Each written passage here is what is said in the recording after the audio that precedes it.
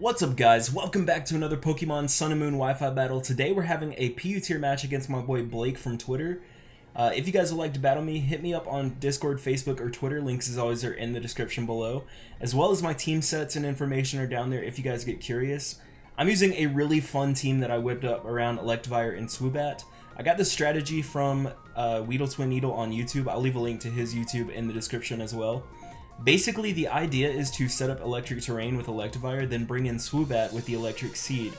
Normally, a Mon with electric seed gets a plus one boost to defense in electric terrain, but Swoobat has an awesome ability in simple, so it actually gets a plus two boost to defense as well as powering up stored power, so it actually becomes decently bulky.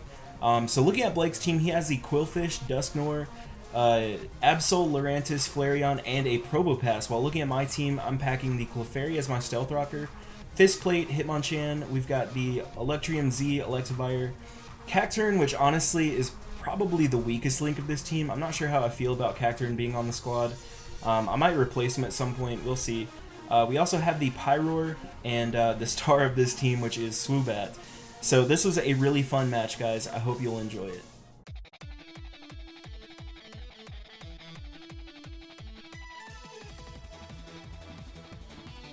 So the battle begins. I'm going to lead off with my Clefairy as my opponent is going to lead off with Ballin, nice Haydunn nickname, which is his Qwilfish. So um, here I just decided I'm actually going to go ahead and try to paralyze something. I wasn't sure if he would want to stay in or try to set up hazards or something. But uh, he actually goes straight for the Poison Jab here, and I am weak to that, obviously, being a Fairy type. Lol, I actually live on 69 HP. Um, he actually poisons me there, which doesn't matter. I do have the Magic Guard ability. Um, so I'm just going to go for the T-Wave like I said, and that's going to slow him down as well as make him uh, have the possibility of not being able to do anything. So he's actually going to swap out here, which I thought was odd, um, because he could have just tried to kill me off with another uh, Poison Jab, and I was actually just kind of leaving in Clefairy to die. I would have outsped because of the paralysis and got my Stealth Rocks up, but he would have been able to kill me. But I'm actually able to set up my Stealth Rocks now and keep my Clefairy, which is kind of nice. Um, so I'm going to swap out. I'm going to bring out Simba. And uh, I did this because I knew if he went for a Ghost type attack or if he went for the Will-O-Wisp, either way it wouldn't affect me. And he does try to go for the Shadow Sneak there. I am immune to that being part normal type as he is going to swap. Um, generally Pyroar do pack the uh, Dark Pulse here and that is exactly what I go for. He's going to bring out Flareonhite, the Flareon, which is a pretty cool nickname. I like that a lot.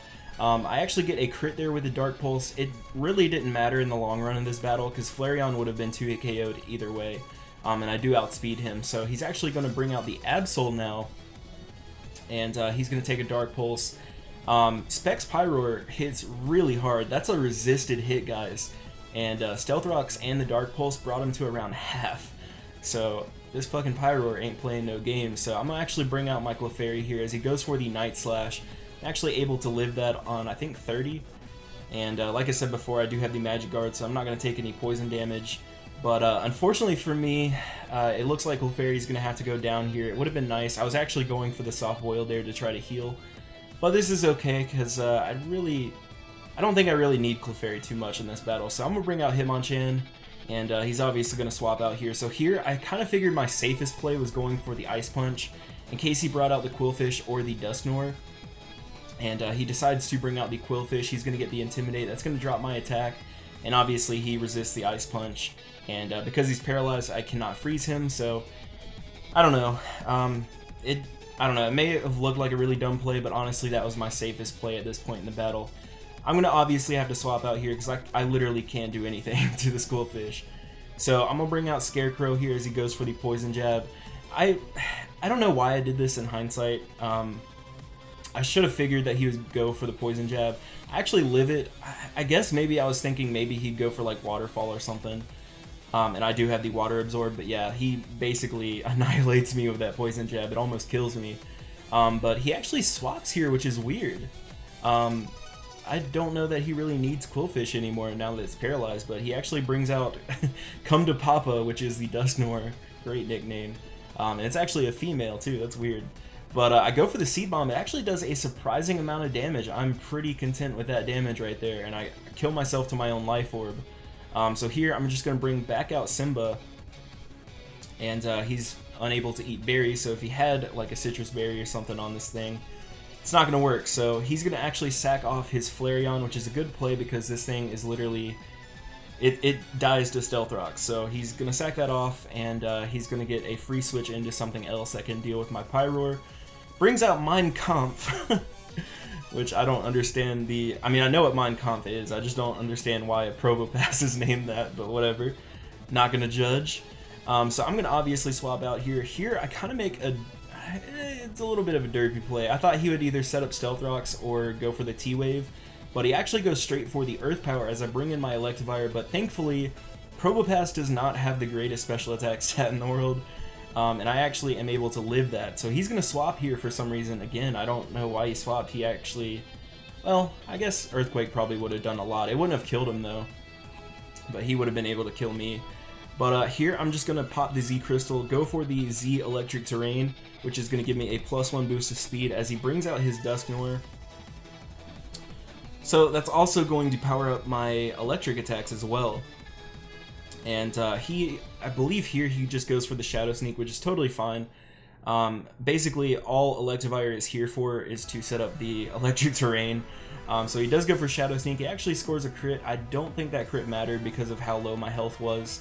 Um, and not to mention, Electivire doesn't have the greatest uh, bulk in the world. So here I'm going to bring out Porky, and uh, I'm going to get the plus 2 boost to defense from the Electric Seed, which is perfect. And uh, that's going to allow me to take his Shadow Sneaks much, much better.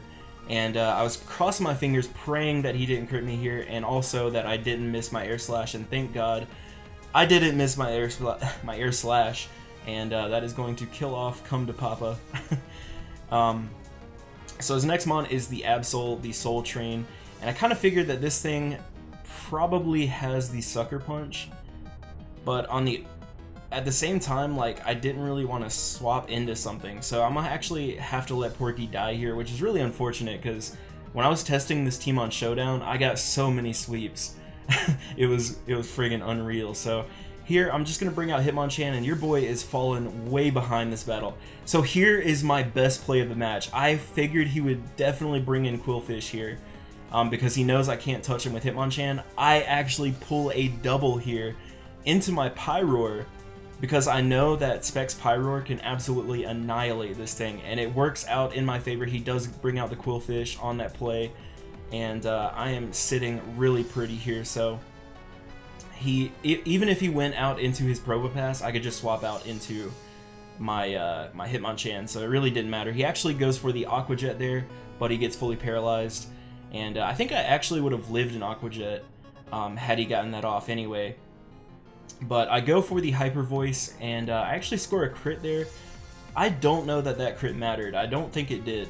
Um, but I'll calc it after I finish recording this, but I really don't think that crit mattered at all. I'm Specs, and Qwilfish has ass special defense.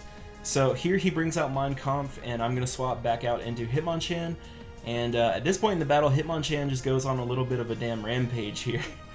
and uh, so I'm basically able to just OHKO the rest of his team with Hitmonchan.